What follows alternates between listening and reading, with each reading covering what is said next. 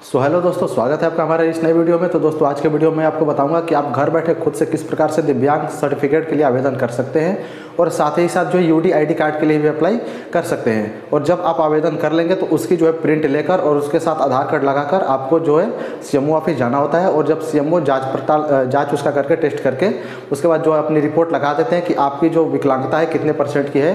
तो उस सर्टिफिकेट को जो है आप घर बैठे जो है डाउनलोड कर सकते हैं और वो भी मैं आपको वीडियो में बता दूँगा।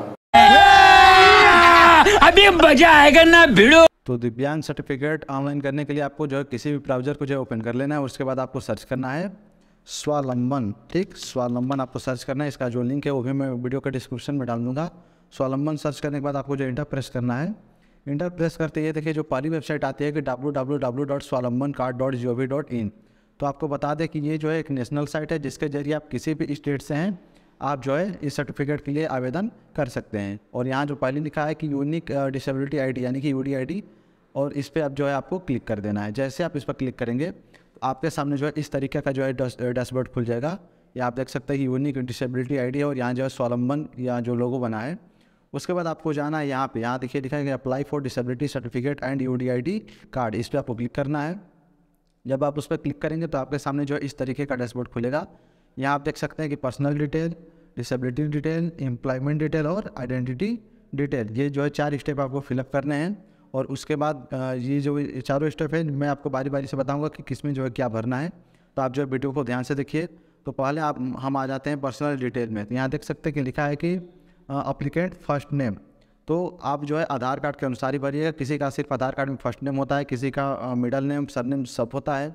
तो जो है आप जो है यहाँ पर भरिए। जो भी उसका फ़र्स्ट नेम है फ़र्स्ट नेम इंग्लिश में आप भरिए मिडल नेम है तो उसको भी आप भर सकते हैं, ठीक? और सर नेम है तो उसको भी आप डाल सकते हैं। उसके बाद जो आवेदक का पहला नाम जो है, हिंदी में आपको टाइप करना है तो आप जो इंग्लिश में टाइप करेंगे और जैसे आप स्पेस देंगे तो ऑटोमेटिक जो है हिंदी में ये आ जाएगा। उसके बाद सेम इसी तरह करना है इसको भी, आपको जो है इंग्लिश में टाइप करते जाना और जैसे आप स्पेस देंगे तो ये जो है ऑटोमेटिक हिंदी में आ जाएगा। ठीक, उसके बाद यहाँ पर अप्लीकेंट फादर नेम डालना है।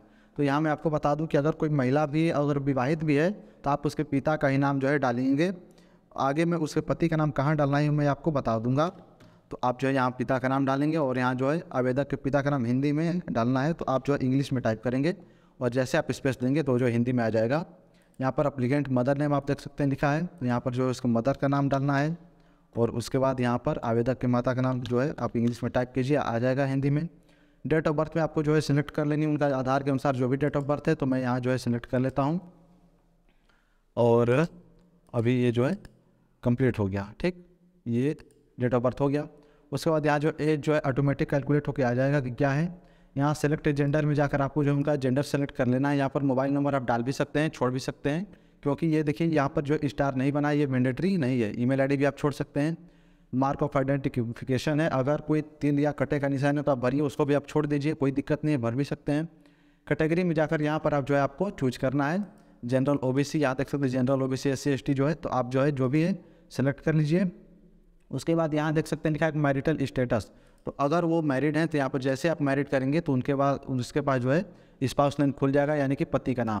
तो यहाँ पर जो है, उनके पति का नाम डालना है। तो यहाँ पर जो मैं उनके पति का नाम डाल देता हूँ। उसके बाद यहाँ देख सकते हैं, लिखा है कि relation with P W D यानी कि पर्सन विथ डिसेबिलिटी तो मैं आपको बता दूँ कि आप जिसके लिए भी अप्लाई कर रहे हैं, अगर वही जो है विकलांग है, यानी कि आपने आवेदक में यहाँ जो है, जो विकलांग व्यक्ति, उन्हीं का नाम डाला है तो यहाँ पर जाकर आप जो है यहाँ सेल्फ पर जो है सेलेक्ट कर लेंगे। लेकिन अगर आपने आवेदक में किसी और का नाम डाला है और विकलांग कोई और है तो आप यहाँ जाके वहाँ जो है रिलेशन चूज़ कर सकते हैं। हस्बैंड वाइफ फादर आपको मिल जाएँगे।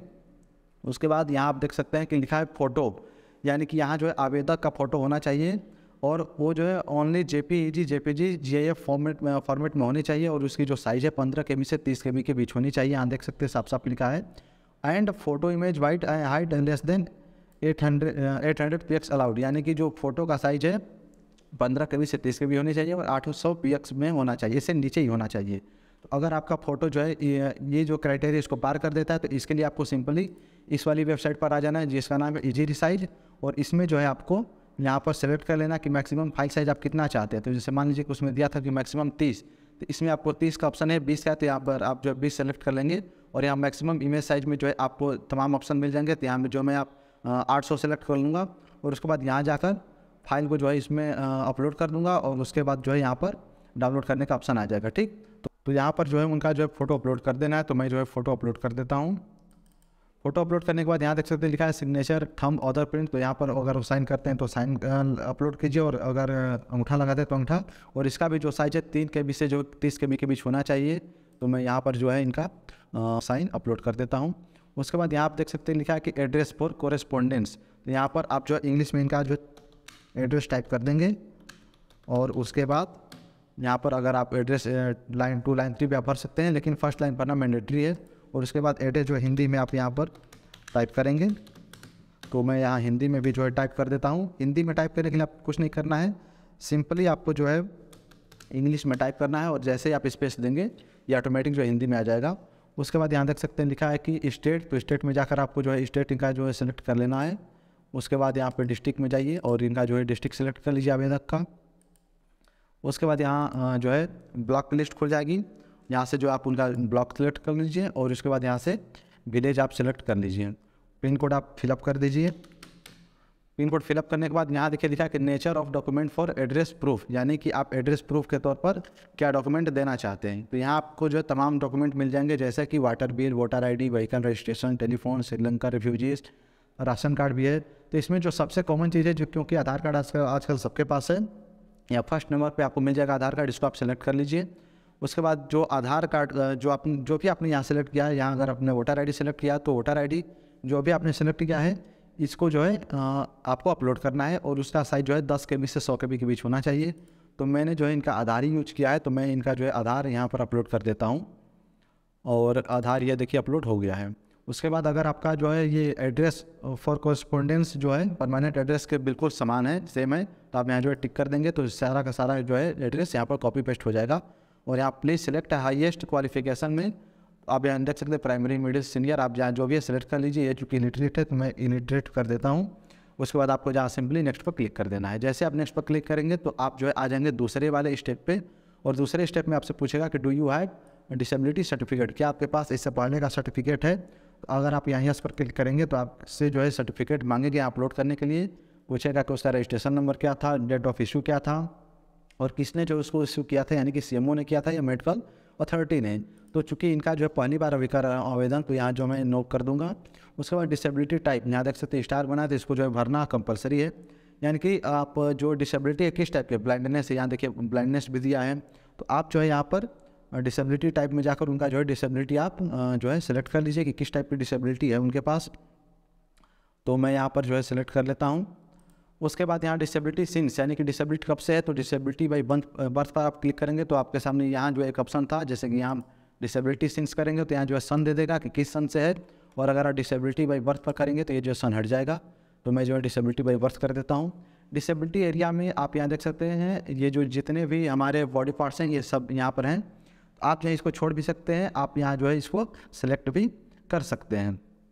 ठीक? तो मैं जो है, मुझे पता है तो मैं यहाँ जो है सेलेक्ट कर देता हूँ।